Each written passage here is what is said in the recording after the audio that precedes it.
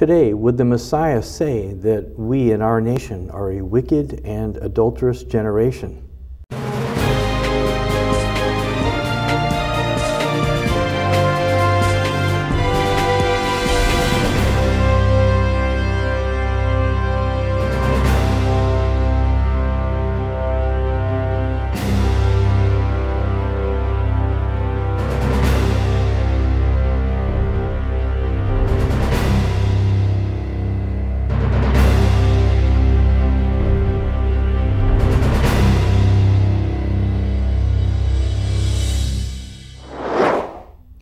Welcome to Revealing the Truth.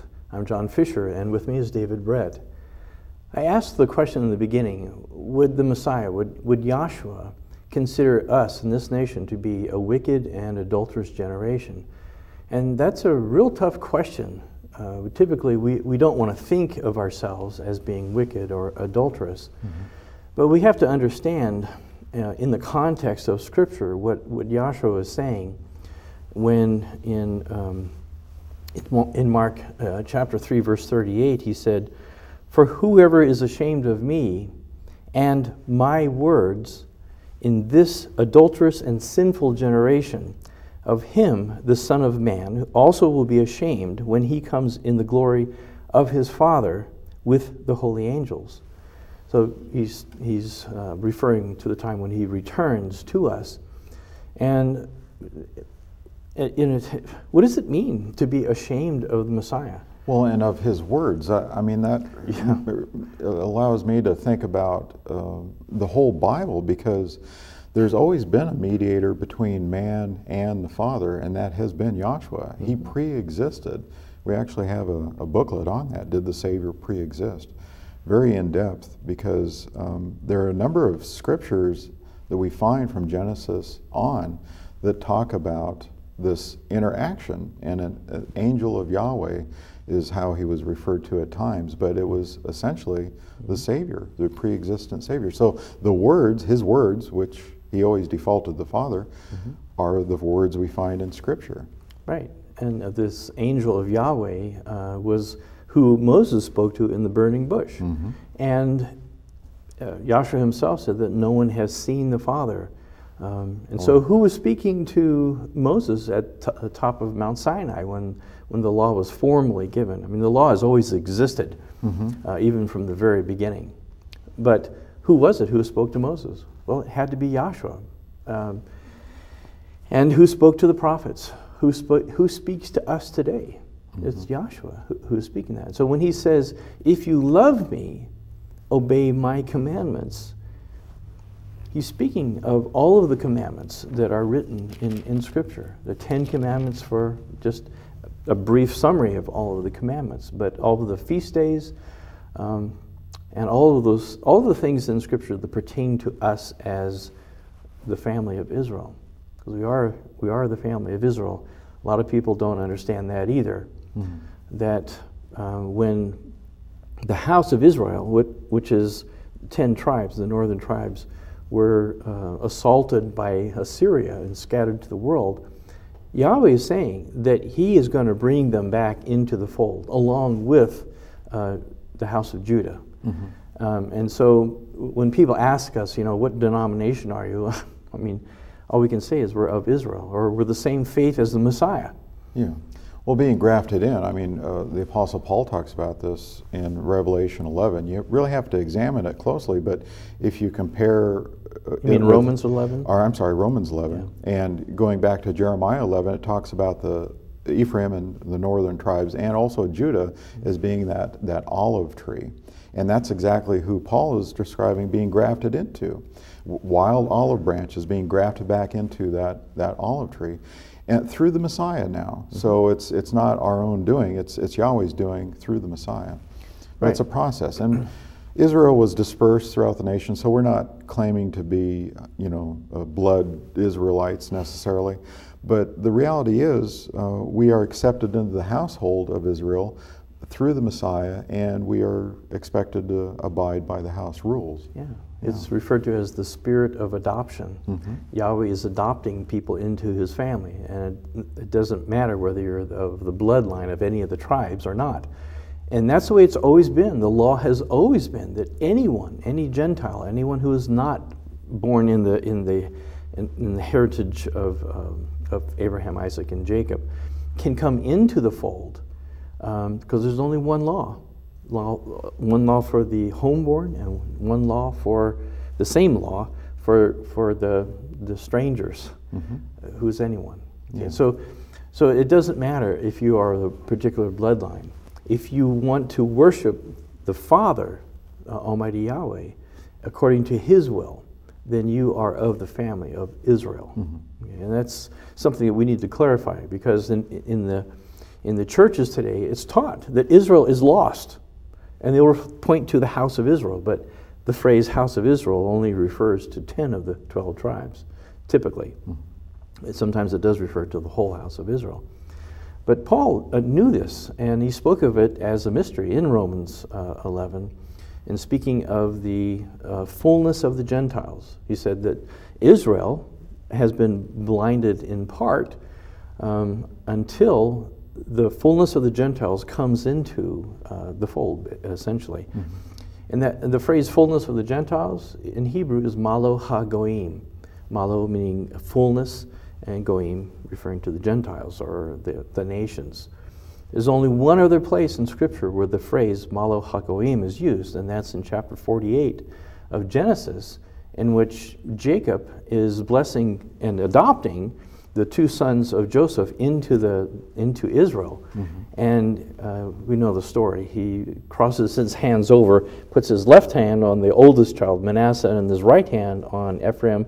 Joseph tries to change that, but, but Jacob blesses Ephraim who later becomes the namesake of the ten tribes, the house of Ephraim, the, mm-hmm. the house of Joseph, or the house of Israel. All are the same people. And um, so, Paul, when he talks about the fullness of the Gentiles, he's speaking of Ephraim, he's speaking of the ten tribes that he is going to uh, adopt back into the household of, of uh, Israel if they're willing to abide in his law, mm-hmm. in Yahweh's law. Yeah. That's the condition as well as for, uh, for, for Judah. And, and, they say that they have the law and they, do, they have preserved the law very accurately. Yeah. Uh, unfortunately, a lot of the translations have been uh, skewed. Yeah, mm-hmm. that's the best word for it. but uh, today, uh, Jude, uh, the house of Judah has their own traditions that are uh, changes in the law of Yahweh. Mm-hmm. Yahshua chastised the Pharisees for making up their own laws, which covered up and obscured the law of Yahweh. That's why he called them a brood of vipers, and you know you worship in the house in the in the synagogue of Satan. I mean, these are harsh things about a really important matter that they have gone away from the law of Yahweh, and that's why John the Baptizer says, "Repent, repent from what."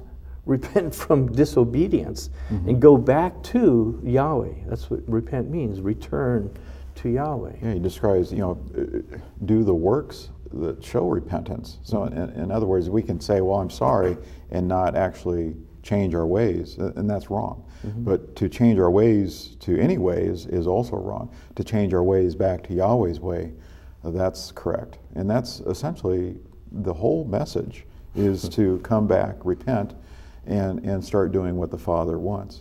Right. And the, and the Son proclaimed the Father's word. He says in Matthew 4 4, Luke 4 4, he's, he's referring to Deuteronomy 8, verse 3, I think.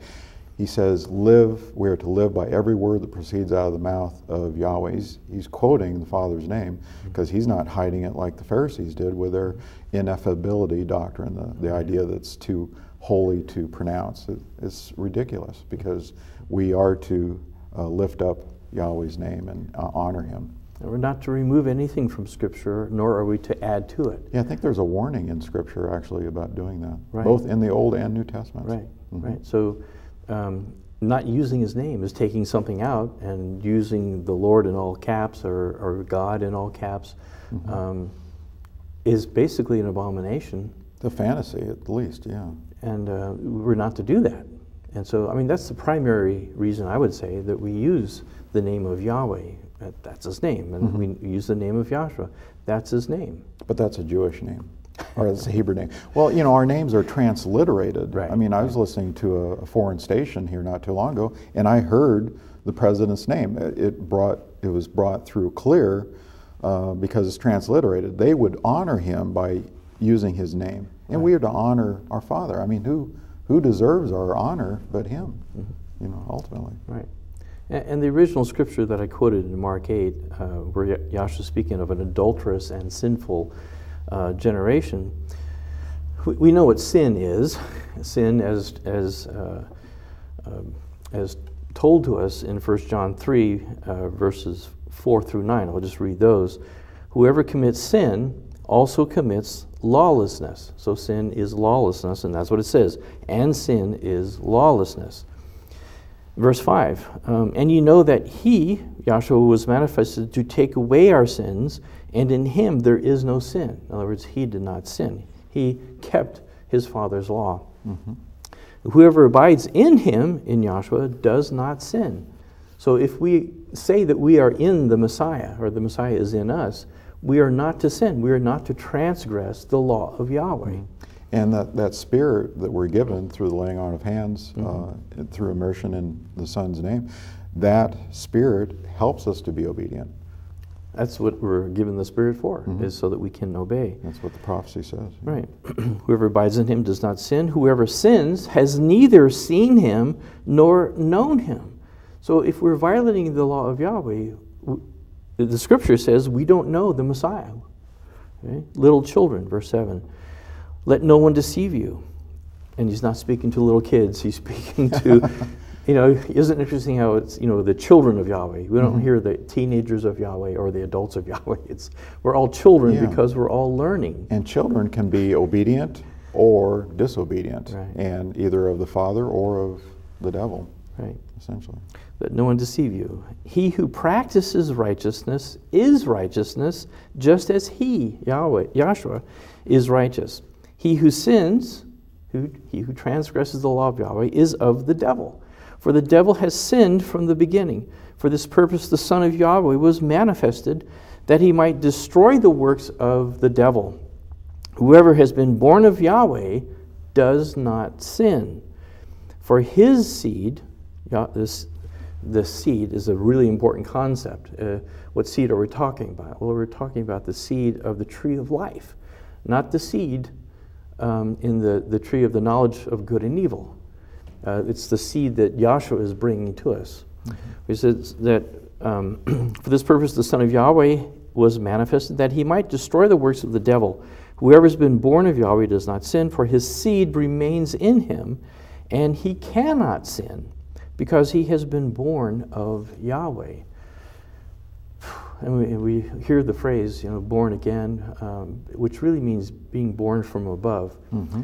And I'm not sure that, that anyone walking the earth right now has the seed in them in, as fully as Yahshua had the seed in him. Yeah, we still are in the flesh. We still, mm-hmm. we still are um, tempted by our own will, our own uh, desire to, to, do it our way. And it's called pride. And when we return, we'll speak in, in more detail and in greater depth about this.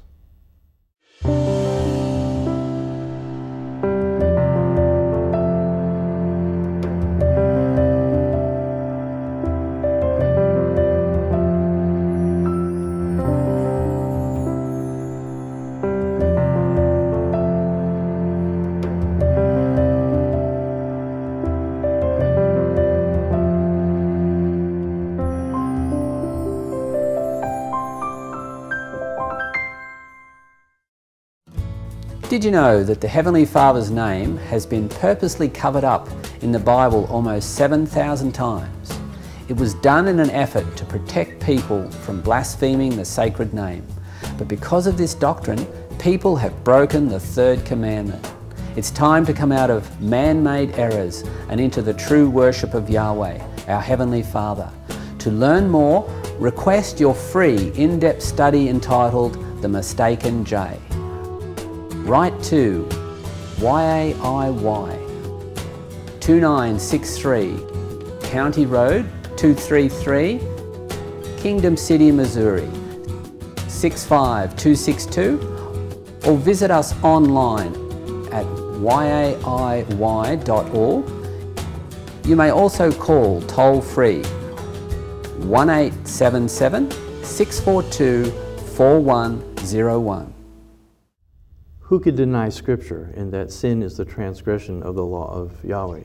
But what is adultery when Yahshua says, uh, speaks of an adulterous and wicked or sinful generation? I think we, we always see a, a physical and a, um, a spiritual application, not Mhm. always, but uh, I think for the most part we do in, in many things that we find in Mhm. Scripture.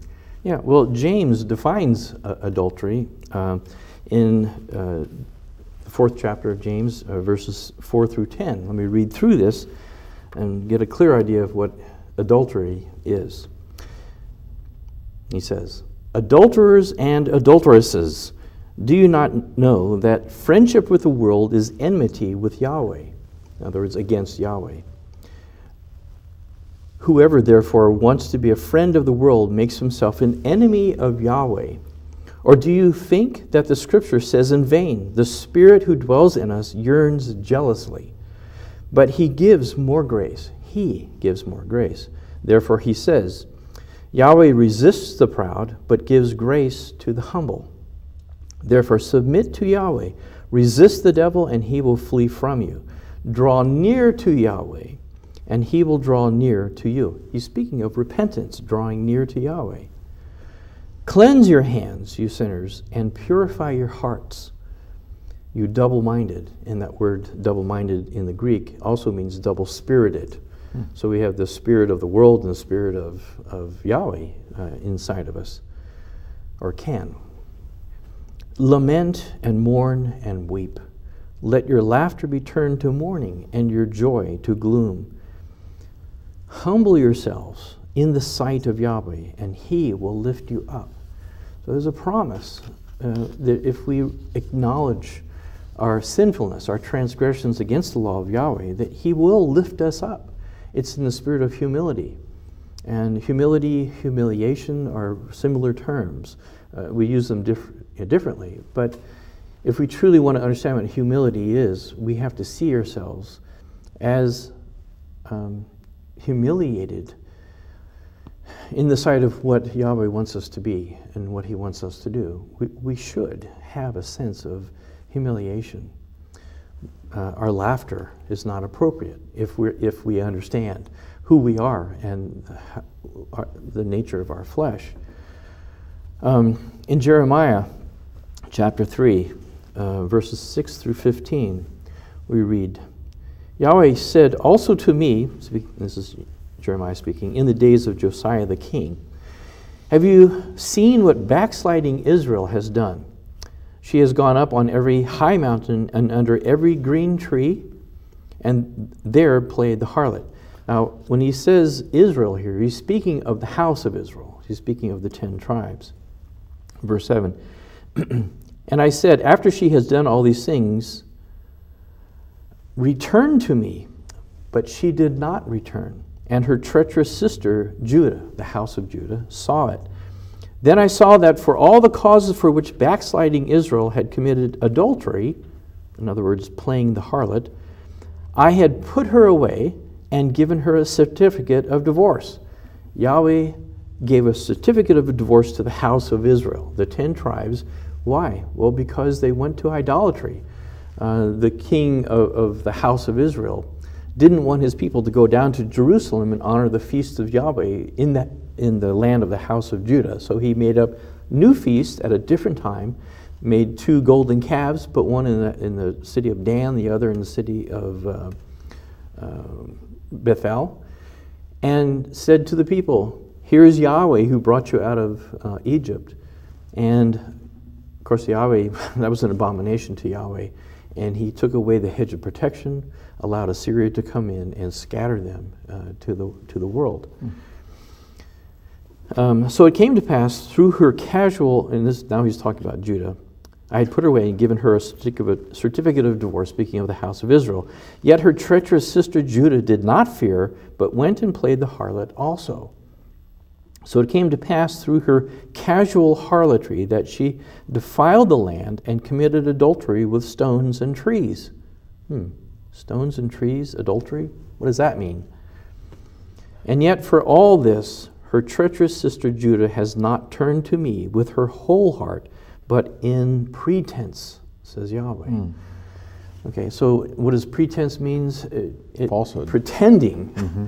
It's uh, the same term, uh, basically, as what Yahshua called the Pharisees. He called them um, actors, basically. Oh, right, hypocrites. Hypocrites. Okay, that's the Greek word for actors, is a hypocrite. Mm-hmm. Thank you, David, for that. hypocrite is someone who pretends to be someone who they're not. So he was acknowledging that the Pharisees were pretending to be righteous, but they were abiding in their own laws, not in the laws of Yahweh. Mm-hmm. Um, and continuing on uh, in Jeremiah 3, uh, verse 11, then Yahweh said to me, Backsliding Israel has shown herself more righteous than treacherous Judah. So he's, he's seeing Israel now um, uh, kind of mending their ways. Go and proclaim these words toward the north and say, Return or repent, backsliding Israel, says Yahweh. I will not cause my anger to fall on you, for I am merciful, says Yahweh. I will not remain angry forever.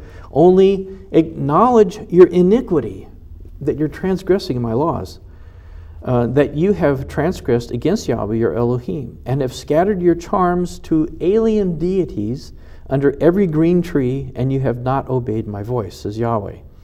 Verse 14 Return, O backsliding children, says Yahweh, for I am married to you. I will take you, one from a city and two from a family, and I will bring you to Zion. And I will give you shepherds, teachers, elders, um, pastors. I will give you shepherds according to my heart, who will feed you with knowledge and understanding. So, what is adultery? Adultery is looking at the nation's ways of honoring their deities. This is what the house of Israel did and the house of Judah. Um, the house of Judah, I believe, they ended up sacrificing their children to Molech, uh, live children thrown into the fire. I mean, this mm-hmm. is an abomination. They were following the ways of another nation. That is adultery. Israel is the bride, essentially, of Yahweh. And it does say that he divorced um, the house of Israel, but he's calling her back and he wants to remarry her. Now, there's, we could get into a lot of dispensationalism. Um, well, Yahweh says if a man marries a woman and divorces her and she marries someone else, then he cannot remarry her. So, under his law, he cannot legally marry the house of Israel. Mm-hmm. Well, so what is he going to do? What did he do? He sent his son as his representative. And we, the house of Israel, who have been scattered to the nations, and I believe have picked up the religion of Christianity. Right. Which is prohibited by Yahweh. I mean, to right. pick up the, the ways of the nations and, uh, right. and worship Him that way. Deuteronomy 12, verses 30, 31, 32. Right. Uh, he, doesn't, he doesn't want to be reminded of the nation's ways. Right. Christianity has basically said the law of Yahweh is dead. We are no longer under it. It's been nailed to the cross. Mm-hmm. But has it? it? How can it be? How can it be done away with? Mm-hmm. It, it, cannot be. Uh, yeah, I, think that actually gets back to a Pharisaical rule because they had a wall of partition set up in the mm-hmm. temple, mm-hmm. and Yahshua himself said, You're not going to worship here nor at this mountain. Uh, there, I mean, that time is coming, and that's the time that we're in now. But uh, Yahweh is uh, allowing His Son to bring us back together. Right. So the separation, that wall of partition, is breaking down. Right. Yeah. Who did the Messiah send his 12 disciples to? The lost sheep of the house of Israel. Mm-hmm. Um, and, and that's in Matthew 10. In Matthew 15, um, he says he has only come for the, the lost sheep of the house of Israel. Who did Peter write to? He wrote, he wrote to the pilgrims of the dispersion. What dispersion is he talking about? The one that happened 700 years before the Messiah, in which the house of Israel was scattered to the nations. Who did, um, who did James write to? If you look up in the first few verses, uh, James wrote to the 12 tribes of Israel scattered abroad. And John in the book of Revelation, who did he write to? Well, he wrote to the seven assemblies. Where are those assemblies located? In the same place that Peter wrote to. And he names the places and also in the book of Revelation. These are the people who are of the house of Israel who were captured by Assyria, and uh, they have remembered the ways of Yahweh uh, over uh, 700 years. Mm-hmm. There, are, there is a remnant of those who uh, remember the ways of Yahweh. And who did Paul go to? he went to the same people that Peter and James and John uh, were writing to. John, according to the Messiah, told him to, to write to these assemblies because mm-hmm. he knew that these are, these are the people who remember, um, which, interestingly, the word remember in Hebrew does not mean just call to mind, it means to speak and act in behalf of. So when the scripture says, remember the Sabbath day, it's in, in the Hebrew context, it's saying, speak and act in behalf of Sabbath not just recall. Oh, yeah, seventh day, that's the Sabbath. Mm-hmm. That's not what it means. It means do it. Mm-hmm. It means obey, to honor it. I think a lot of people today, you know, have been kind of turned off from a lot of religion. So why should they believe us? And they, and they may ask, well, show us some sort of sign or give us some evidence that you're really that you really have the Spirit. Well, ultimately, that that is in the the pudding, so to speak, if we're not teaching to the law and to the testimony, then there is no truth in us. But if we are, then um, people should listen. Mm-hmm. But it gets back to that idea of what uh, you know the wicked and adulterous nation, our uh, people's generation. What are they looking for? They're looking for signs and wonders and mm-hmm. these things that are, you know, fluff. They're not really the core of what we should be doing. Uh, Psalm 119, 115 says, Thy word is a lamp unto my feet and a light unto my path. And this is what we really need to pay attention to. Yeah, and, and that verse captures the literal and the figurative. A lamp unto my feet tells me how I'm supposed to walk in this life, but a light unto my path. The path is, uh, in Hebrew, the sense of path is, is circular. When we read in Psalm 23, um, he will, that he will lead us in the paths of righteousness. Those are the cycles of righteousness. Uh, there's a Sabbath day every seven days. There's the, the day, the Memorial Day of Passover, the, the Feast of Unleavened Bread, the day of Pentecost, the Day of Trumpets, the Day of Atonement, the Feast of Tabernacles, and the last great day. These are the cycles mm-hmm. that Yahshua it will lead us into. And these are the holy days. These are not holidays. These are not man-made. These are the Father's, right. which He says are His. And all of the feast days of Yahweh are, are not the feasts of the Jews. I mean, the Jews do honor them in a sense, but they're not, they don't belong to them. The feast days are all about the Messiah and they belong to Yahweh. And we pray that you will seek this out, this information, uh, and return to Yahweh.